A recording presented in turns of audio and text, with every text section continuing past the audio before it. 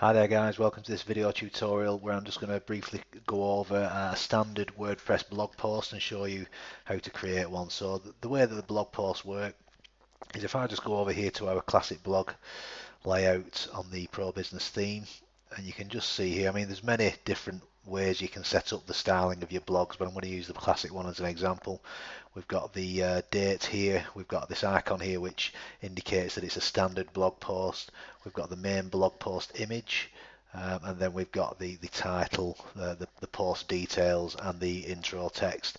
If we click the read more button, uh, we get through to the actual blog post page and in here we've got the same again the date and the icon and the image but then we have the full text and the, and the author details and the comments. So I'm just going to show you how to set up a new blog post.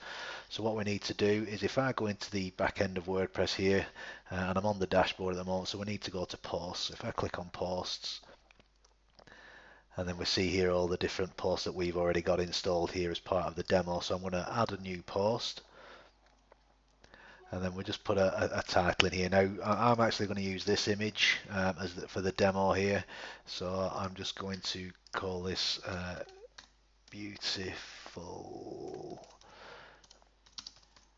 city view. So that's the name of the post that I'm going to put there. Then we've got the text here. Now I've already got some text that I've typed out, and I'm just going to copy and paste in here. So I'll just uh, get this from here.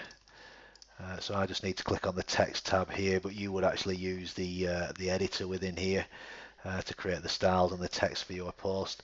So then we've got here the uh, the date. Which date do we want to publish that on? Uh, so I'm going to say immediately, so I don't need to change this, but you can define the date here.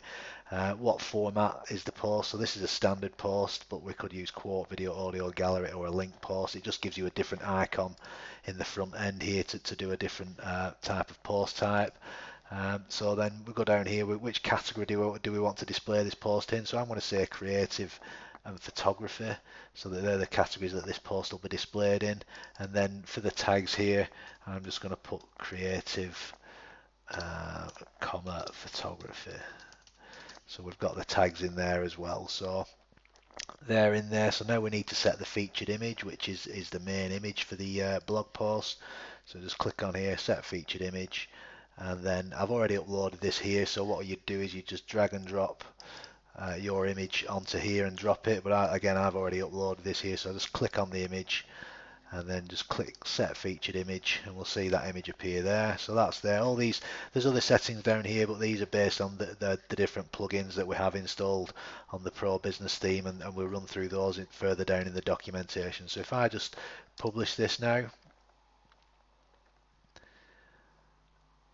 So there we go, that blog post is now published. If I navigate to the front end and if we go back to the classic blog layout, we'll see that our new blog post is now featured uh, within our blog here. So we've got 23rd of April and then we've got the icon for a standard post and then we've got the details for the actual post itself. So that's creating a blog post. Again, the different ways in which we showcase the different blog posts in here with the masonry styles, the even styles, and the classic blog.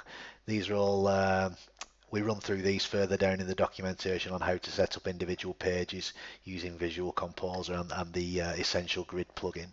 So uh, yeah, if, uh, if you've any questions, please don't hesitate to contact us at support at cmssuperheroes.com and we'll be more than happy to help. Thank you.